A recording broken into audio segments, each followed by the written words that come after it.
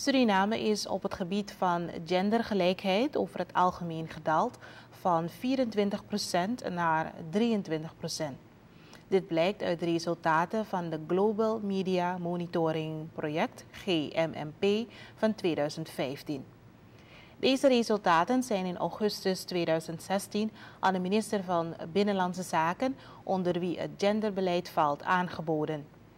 Op grond van deze resultaten heeft het GMMP-team Suriname vandaag in Theater Uniek een workshop georganiseerd getiteld Op weg naar Gender Media Code voor Suriname. Volgens Sandra Klenum, coördinator van het GMMP-team, zijn er in Suriname meer mannen vertegenwoordigd in de media dan vrouwen. Klenum zegt dat er bij het onderzoek van 2015 is gekeken naar de balans van mannen en vrouwen in de media. Op basis van die resultaten is gebleken dat vrouwen haast niet betrokken worden binnen de media als het gaat om nieuwsitems. En dat als dat gebeurt, dan is het dat er een bepaalde discriminatie bestaat. We willen met deze workshop een beetje dieper ingaan in de materie om dan te praten van wat wat gebeurt er eigenlijk? En uh, wat moeten we doen als samenleving om een beetje verandering te brengen in die situatie? Klenum gaf tijdens haar presentatie ook aan dat in de periode van 2000 tot 2015 gebleken is dat er een stijging en daling heeft plaatsgehad bij de zichtbaarheid van vrouwen in de media. Volgens haar heeft dit onderzoek in meer dan 170 landen plaatsgevonden. De GMMP-coördinator presenteerde een overzicht van de resultaten in Suriname.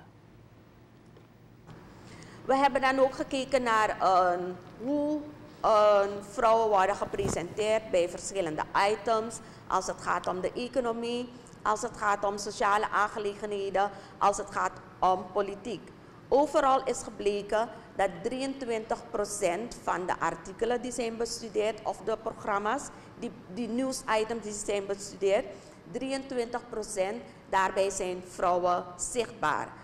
Uh, in tegenstelling tot uh, uh, online media merken we dat die veel hoger liggen. 38% van de vrouwen is vertegenwoordigd als het gaat om online berichten. We merken verder dat uh, als het gaat om krantenberichten, dat de verdeling is 22% vrouw en 78% man. Bij de radio is het 24% vrouw en 76% man.